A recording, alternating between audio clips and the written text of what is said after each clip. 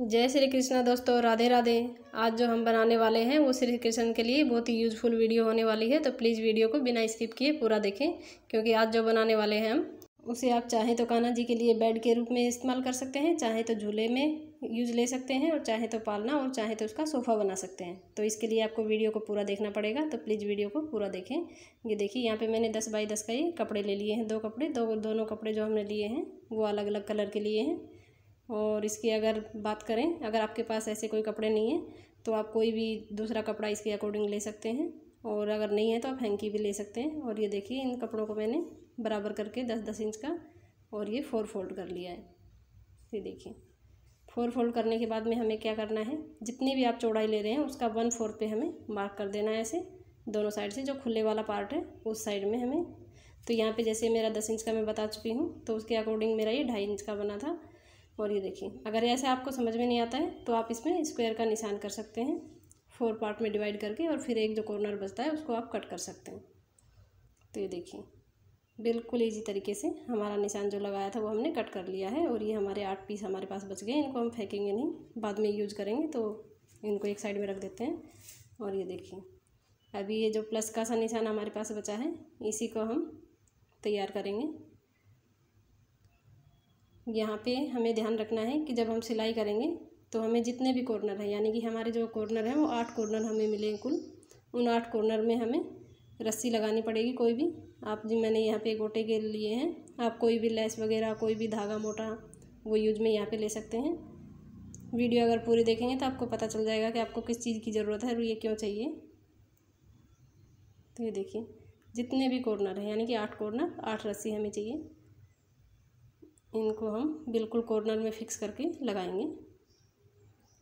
और जब सिलाई करेंगे तो ये ध्यान रखेंगे कि जहाँ पे हमने जो भी धागा दिया है, लेस दिया है, उसके ऊपर दो से तीन बार घुमा घुमा करके मशीन को चलाएँगे क्योंकि हमें इसको थोड़ा सा बाद में खींचना भी है ताकि वो निकले नहीं। तो ये ध्यान रखें, दो से तीन बार इसको मशीन को वापस से घुमा करके इसको टाइट कर ले, पूरा अच्छे से फिक्स कर दें। और अब इसको दूसरी साइड में हम मोड़ लेते हैं। ये आ गया हमारा कॉर्नर, अब इस कॉर्नर पे भी हम लगाएँगे। तो इसी प्रकार से जैसे मैं बता चुकी हूँ, आठ कॉर्नर हमें। पूरे आठ के आठ पे लगाना है।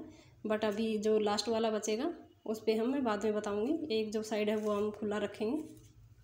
बाकी हम सभी को तैयार कर लेते हैं अच्छे से। जब ये रस्सी डालें तो ध्यान रखें कि दूसरी तरफ़ सिलाई में ना आए, इसके लिए इसे बीच के अंदर ही छोड़ें सेंटर में। और एक वाला पार्ट जो है, ये कॉर्नर में लाना ही है हमें। तो गई अगर आप श्री कृष्ण से रिलेटेड और कोई भी वीडियो देखना चाहते हैं तो मेरे चैनल पे विज़िट करके देख सकते हैं। आपको बहुत सारी वीडियो यहाँ पे मिल जाएँगी। अगर आप श्री कृष्ण की जी सी ड्रेस बनाना चाहते हैं, बिल्कुल रेडीमेड टाइप की, वो भी आपको चैनल पे मिल जाएगी। उसका लिंक मैं डिस्क्रिप्शन में शेयर कर दूँगी तो आप वहाँ पे जा कर के देख सकते हैं। और हाँ गाइज़, अगर चैनल पे नए हैं तो प्लीज़ मेरे चैनल को सब्सक्राइब कर लें, ताकि हर वीडियो आप देख पाएँ। तो ये देखिए, एक जो कॉर्नर मैंने बोला था, वो हमने सिलाई नहीं किया है, एक को हमने रख लिया है। क्यों रख लिया है, वो अब आप देखेंगे।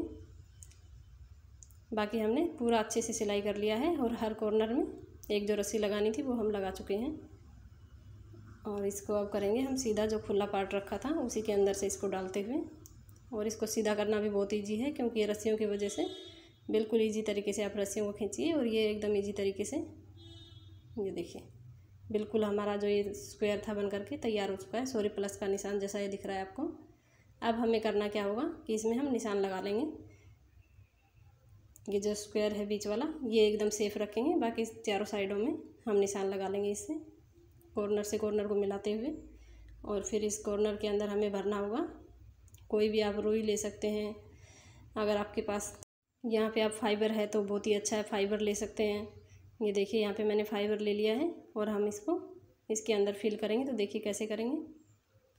निशान जो लगाने का बताया है, वो ज़रूर से लगा लें कॉर्नर से कॉर्नर तक।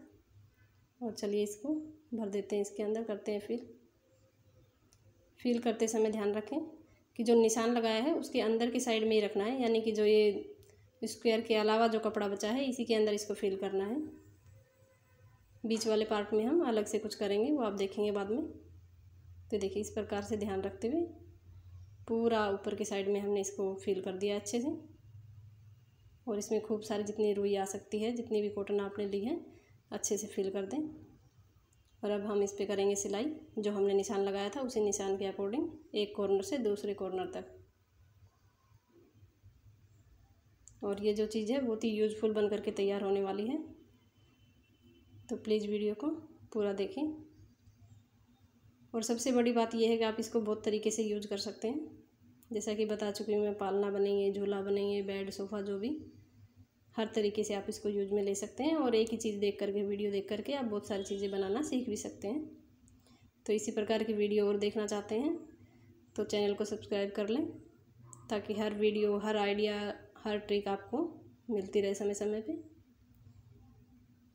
अगर आपके पास काना जी नहीं है तो आप अपने बच्चों के लिए टॉय के रूप में भी ये तैयार कर सकते हैं।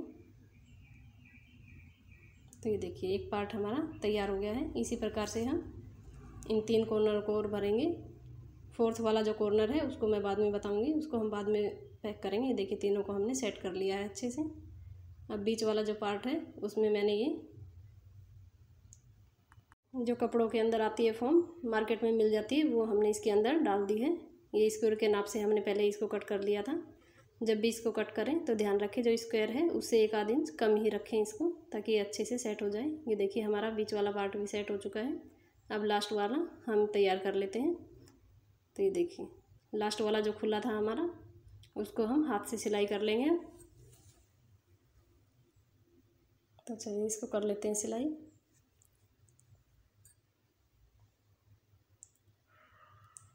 तो हमारा हर कॉर्नर एकदम अच्छे से रेडी हो चुका है अभी। बीच वाले पार्ट टाइट रहे, इसके लिए हमने उसमें सीट डाली है। और ये देखिए, अभी आप देखेंगे कि हम इसको कैसे तैयार करेंगे। आप चाहें तो इसे इस साइड से रख सकते हैं और चाहें तो इस साइड से। जो भी पार्ट आपको चाहिए, जो भी कलर चाहिए, उस हिसाब से आप इसको ले सकते हैं। और इनको कर देते हैं हम नोट। चारों कॉर्नर को हम अच्छे से बाँध देंगे। तो ये देखिए, इस प्रकार से जैसे कि मैंने बोला था टाइट रखें तो इसको दो तीन बार मशीन से इसीलिए टाइट करना था सिलाई को, ताकि निकले नहीं खींचते वक्त। और यहाँ पे आप जैसे बोल चुकी हूँ मैं, कुछ भी ले सकते हैं। तो ये देखिए, अगर हम इस पार्ट को अगर नहीं रखते हैं तो ये हमारा सोफ़े की तरह यूज़ में लिया जा सकता है। लेकिन अब हम इसे अच्छे से पैक कर देते हैं और ये हमारा पालने जैसा या फिर गोपाल जी को मंदिर में बैठाते हैं तो उस समय कुर्सी के रूप में ले सकते हैं। और ये जो हमारे कॉर्नर जो हमने कट किए थे, उसके हम पिलो बना लेते हैं। पिलो बनाते वक्त भी ध्यान रखें कि दोनों कलर के बनाए मैंने। कि जो भी हम पालने में यूज़ करें, उसी प्रकार के हम पिलो भी उस साइड से लगा सकें। तो ये देखिए, बहुत ही प्यारे प्यारे छोटे छोटे पिलो हमारे बन करके तैयार हुए हैं। इसमें भी हम जो भी कॉटन या फिर फाइबर जो भी आप भर रहे हैं वही इसके अंदर भी फिल कर लें। और हम इसे सुई से कर देते हैं नोक पूरा, ये देखिए। बहुत ही क्यूट क्यूट से और सुंदर से हमारे पिलो बन करके तैयार हो गए हैं। और यहाँ पे बैठ चुके हैं हमारे कान्हा जी? तो ये देखिए, जैसे मैंने बोला था आप पालना भी बना सकते हैं। पालना बनाने के लिए यहाँ पे मेरे पास ये कुछ डोरी रखी थी, जो मैंने चारों तरफ़ से इसको लगा दिया है। तो इस तरह से आप इसको झूला और पालना बना सकते हैं। Thank you for watching.